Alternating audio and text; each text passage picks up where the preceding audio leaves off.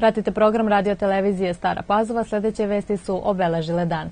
Direktor Kancelarije za Kosovo i Metohiju Marko Đurić izjavio je danas dana nakon izbora za gradonačelnike u četiri opštine na severu Kosova i Metohije da je Srpska lista ostvarila veći i bolji rezultat nego 2017. godine na lokalnim izborima.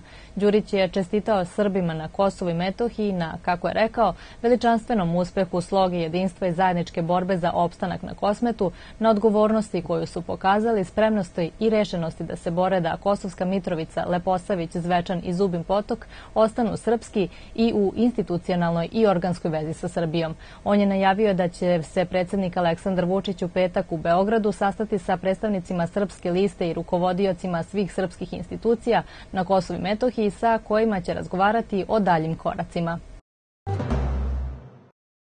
Ministar zadužen za inovacije i tehnološki razvoj Nenad Popović rekao je danas da je Srbija već postala centar inovacija jugoistočne Evrope i pozvao učesnike 23. internacionalnog kongresa iz projektnog menadžmenta da svoje projekte realizuju u našoj zemlji.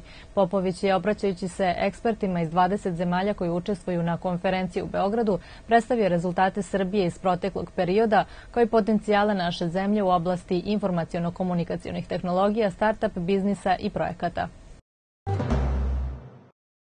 Predavanjima za najmlađe u Krnješevcima, Vojki i Nove Pazove i Staropazovački dom zdravlja dr. Jovan Jovanović Zmaj započeo obeležavanje 29. nedelje zdravlja usta i zuba, čiji je ovogodišnji slogan Oralno zdravlje čuvamo od najranijeg uzrasta.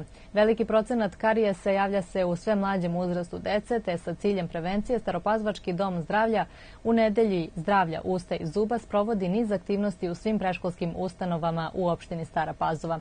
Edukacije mališana se nastavljaju u utorak 20 1. maja u Novim Banovcima, zatim u sredu 22. maja u Starim Banovcima, Belegišu i Surduku, u četvrtak 23. maja u Staroj Pazovi i u petak 24. u Golubincima.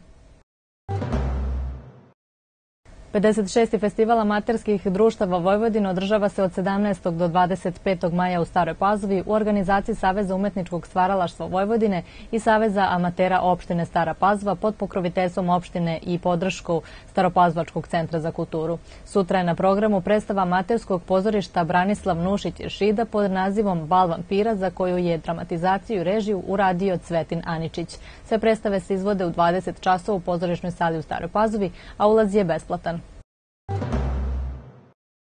Jana Ruman, recitatorka iz Stare Pazove, osvojila je četvrto mesto među odraslim recitatorima na 51. republičkoj smotri recitatora Pesniče naroda mog, koja je održana prošlog vikenda u Valjevu.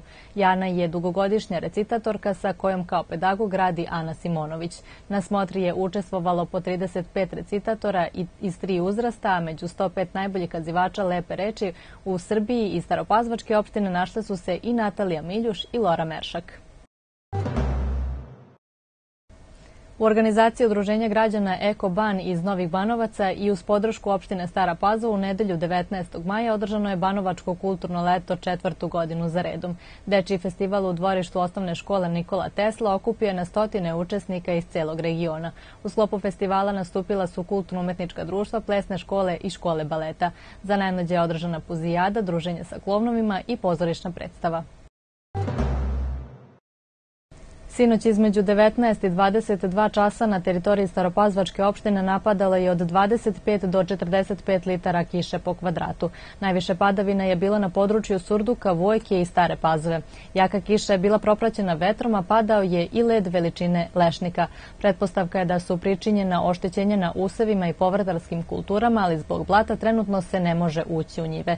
Preporuka agronoma za sve poljoprivredne proizvođače je da čim se zemljište malo prosuši, obi obiđu svoje useve kako bi videli u kakvom su im stanju posejane kulture.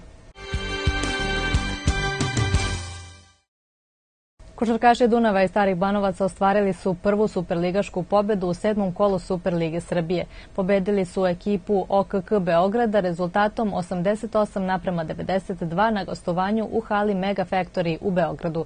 Najefikasniji u redovima Dunava bio je Nikola Šućev sa 25 postignutih poena, a pratio ga je i Nikola Ćirković sa ubačenih 15 poena. Do kraja Superlige preostala su još tri kola, a Dunav će već u sredu na svom terenu ugostiti ekipu borca iz Čačka.